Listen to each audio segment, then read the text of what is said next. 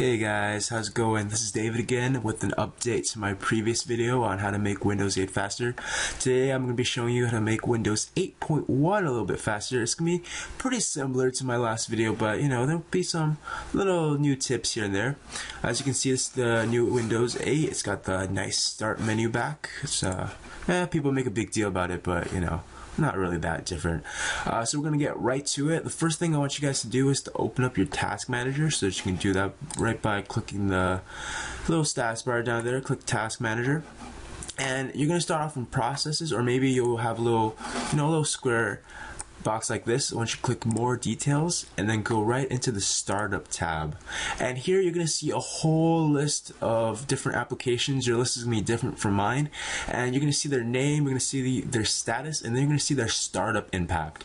So a lot of the things when your computer first logs on it's to be starting up all sorts of these applications right? But what it does is that it slows down your startup time so it takes a long time from you to go from boot to when you can actually start doing things so what, what you want, I want you guys to do is to go down this list, see what you really need, right? Like, for example, I don't really need a Google toolbar notifier. So I'm going to have that disabled or I may not want this QuickTime task to run when I first start up. So I'll disable it.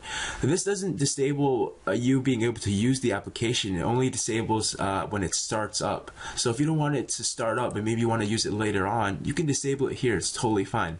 And what this does is it will, it'll really save you a lot of time time during the whole boot process.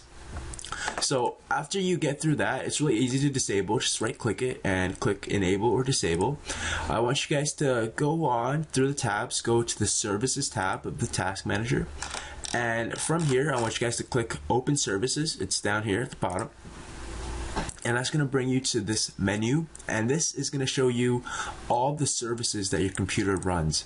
So services take up a lot of your system's performance both in its startup and then its RAM usage and its CPU usage later on while you're using your system.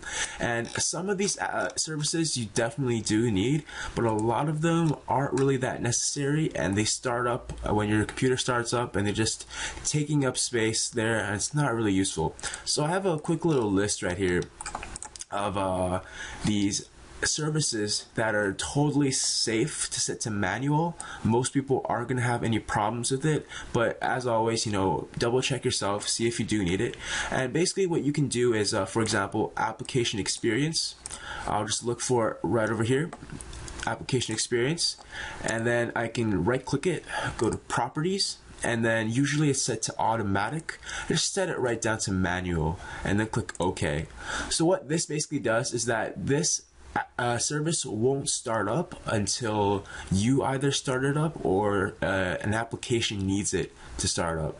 And for the most part, I mean, application experience, processes, application compatibility, you know, most programs, they're not going to use it, right? So this will really save a lot of time. And I'm going to have the full list down in the description bar so you can do that on your own time. And, you know, just go through the list, see if there's anything that you're sure you don't need, but, you know, always be sure that you don't need something before you go around disabling it because, you know, you don't want to mess up your system, right? So, we're good there.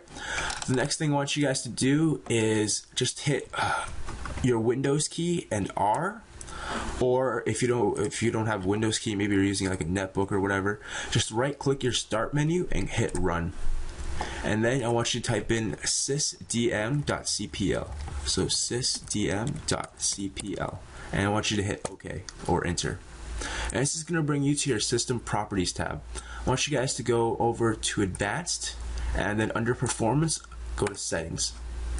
Now, this box is for the list of visual effects that your Windows has on your computer. So this includes things, you know, fading in and out your uh, windows or this little peek feature over here, you know all that like you know it's kind of eye candy and you don't really need it. And if you have a slow system you're going to want to disable some of these because they really they take a lot of your system resources.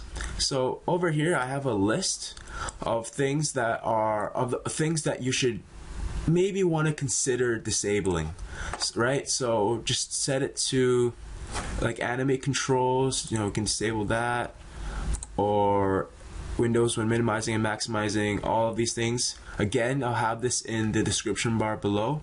So after you're done, maybe disabling whatever, and then just go ahead, hit apply, and then okay. And you know, most of it looks the same. It's just some of the you know the nice animations may be gone. But again, if you have a slow system, you're gonna prioritize your performance over some of the nice uh, nice things to see, right? So, you know, go ahead, disable what you don't need, and then hit OK. Alright, so after that, we're just gonna go ahead and I want you guys to open up a Windows Explorer. So, for example, just hit this PC.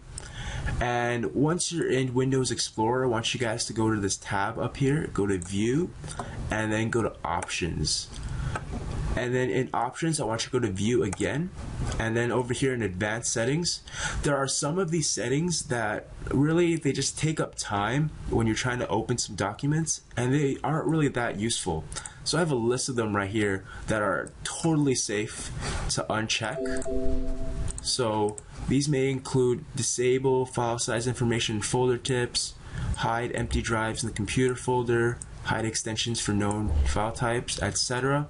So maybe just go through these and disable them because to be honest, you don't really need them and they do take up time when you're trying to open up your Explorer.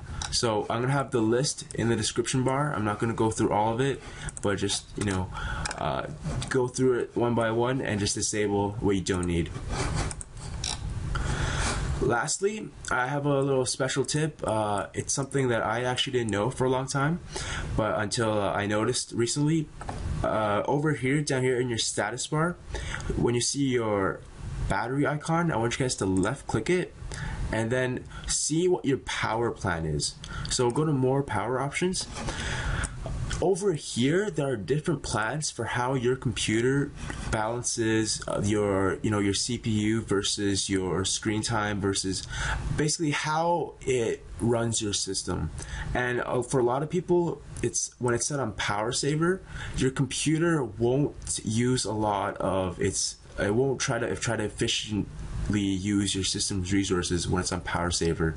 On balance, it's pretty good, but for those of you who want, you know, the best performance that your computer can do, go down to high performance and check the high performance plan because this is when your your computer is going to be using your CPU to its maximum. It's going to be using everything that your computer has to offer to run your system, and that's how you're going to get the best performance from your computer.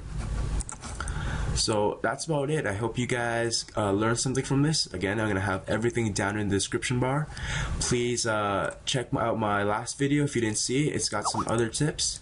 And I hope you guys learned something. And I hope you guys will like and subscribe and tune in for next time. Thanks.